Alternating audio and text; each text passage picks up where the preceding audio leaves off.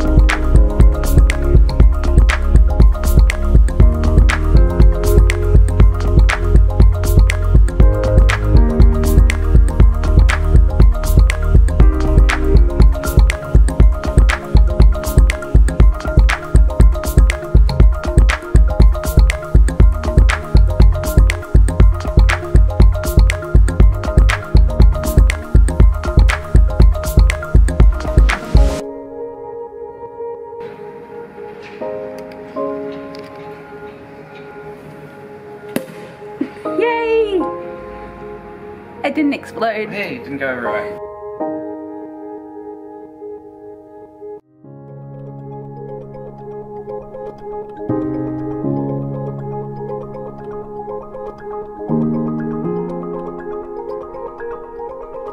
Hi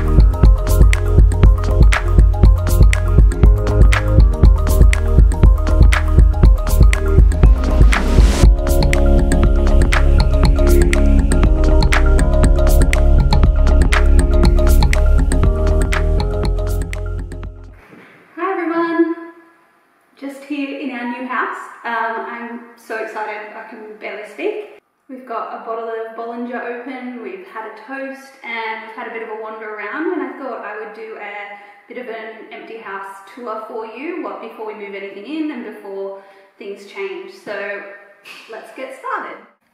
Okay, so this is the entryway. Uh, there's the front door. I'm not going to show you outside because it's dark now.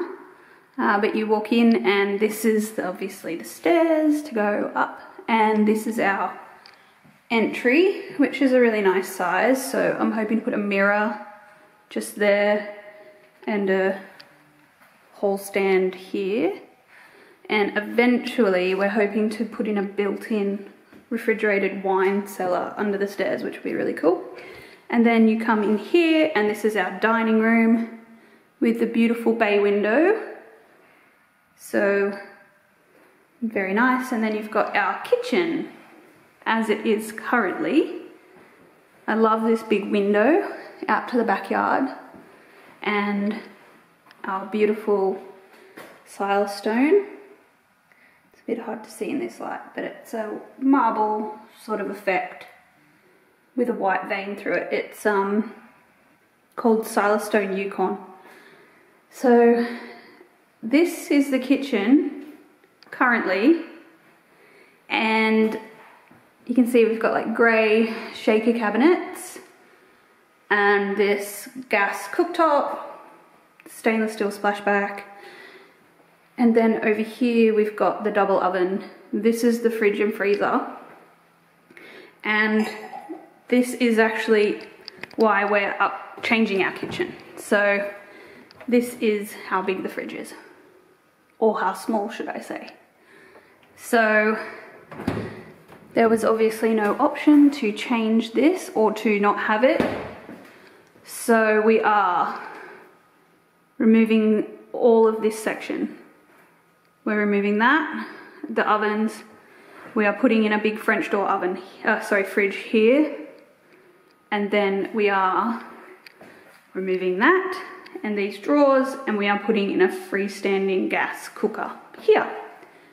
And we're gonna also add an above fridge cabinet there and an appliance garage to hide the microwave there. So that's the changes that we're making so that we actually have a decent sized fridge. And whilst doing all that, we're going to take all the cabinets off and replace them with navy blue. So they'll be more like this color. Um, that's what's happening, which is pretty crazy, I suppose, with a brand new build. This is a lovely kitchen, but the fridge is absolutely not practical for us, so it had to happen. Um, then you come in here, and this is probably going to be my favorite room of the house. Um, it is the utility, which obviously has the washing machine and the dryer will go here, but we're actually going to also use this as a butler's pantry. So I think a lot of these cupboards, again, these are being replaced with the navy and we're putting them, gonna make them bigger because they're currently quite small. So we're gonna go up higher towards the ceiling um, to make the most of the space.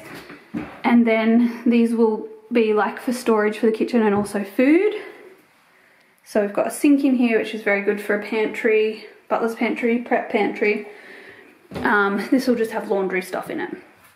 So that is the it's called a utility in the UK. I call it a butler's pantry.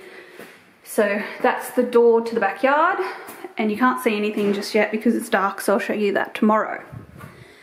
Then we go out of this area back to the entryway which is quite nice and they all close. There's a door to every part of the um, house off the entry which is really nice.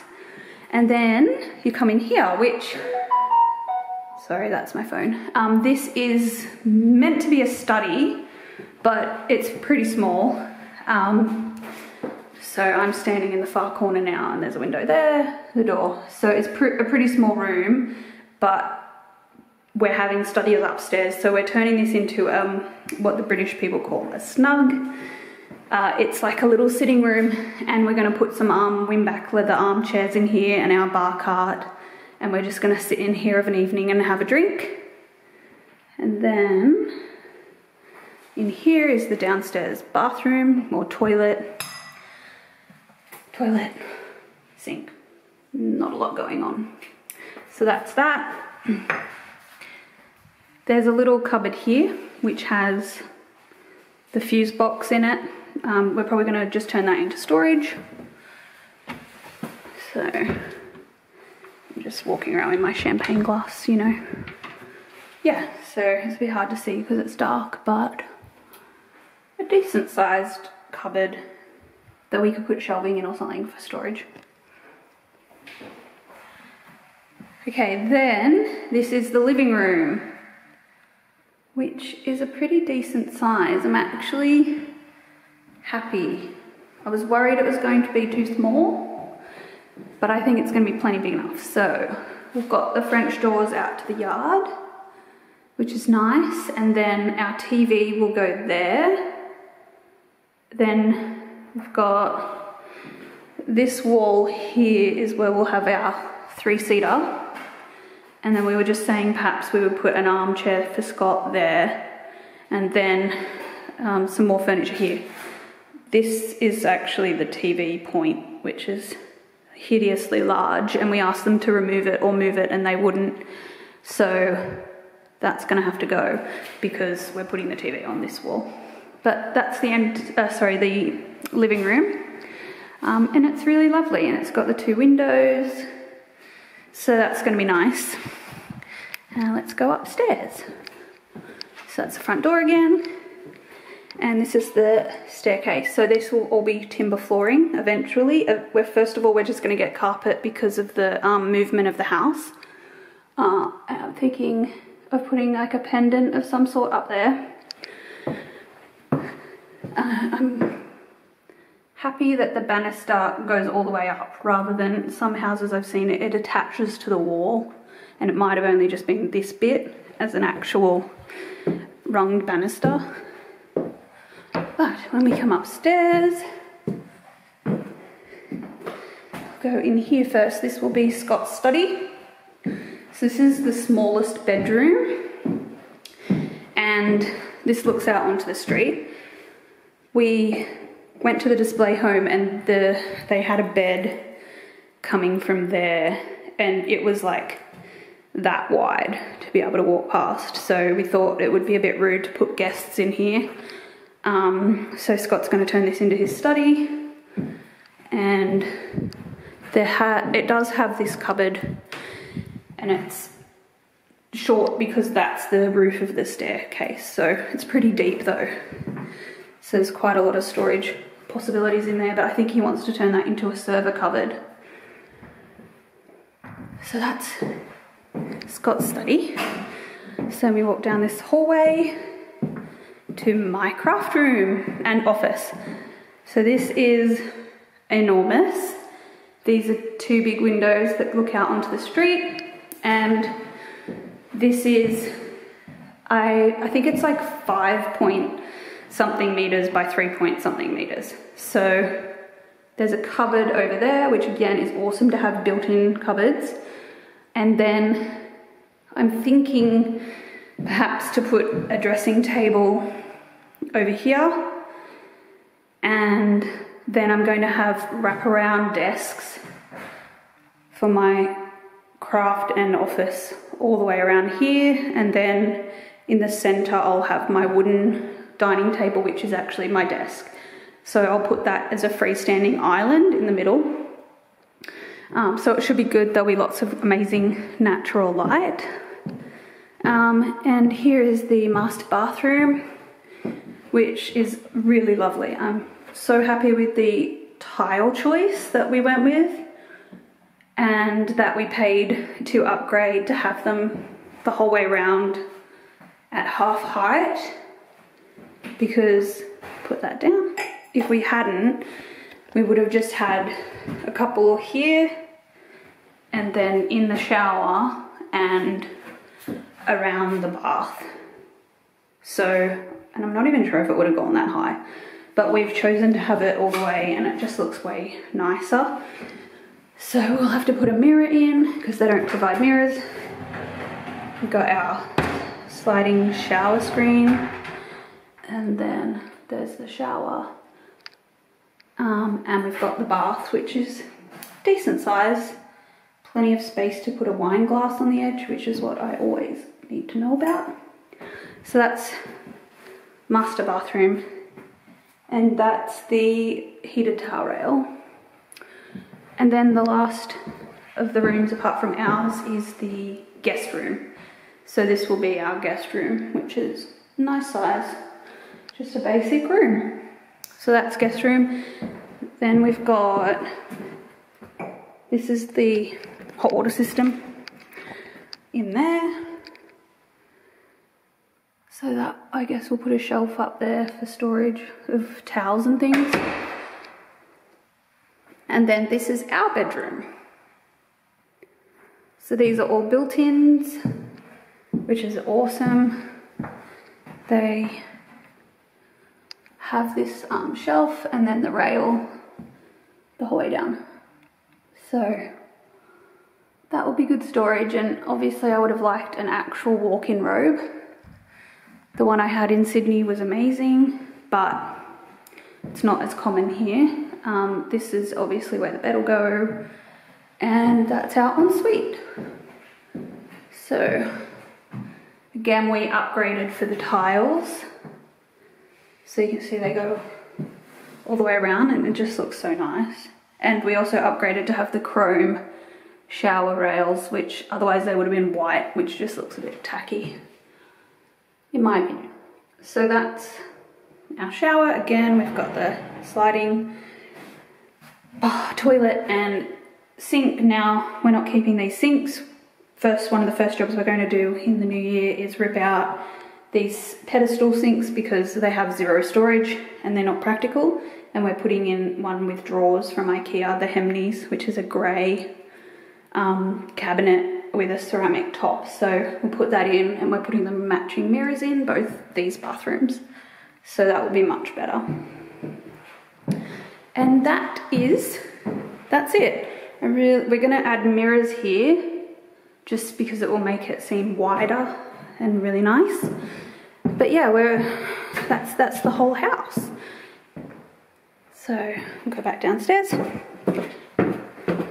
Okay, so that is the tour of the house, uh, as is today on completion day. So as I said, we are going to be doing a lot of changes in the next month before we actually physically move in. So our kitchen is going to be pretty different and I'll be able to show the progress of that. We're having downlights put in throughout the whole house so it'll be much brighter and nicer. And we're having our flooring laid, which will throughout the whole house be um, a, it's called Spanish Cherry by Karndean and I'll show you that as it goes down.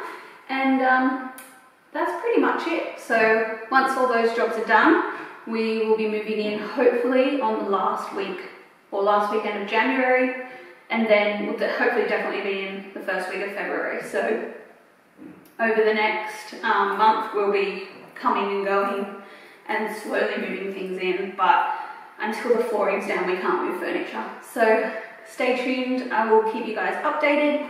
And um, thank you for watching. If you would give it a thumbs up, that would be super helpful. And yeah, feel free to subscribe if you'd like to see the rest of the progress of us moving into our new home. Um, let me know what your favourite feature of our new house is, and I'll catch you next time. Bye!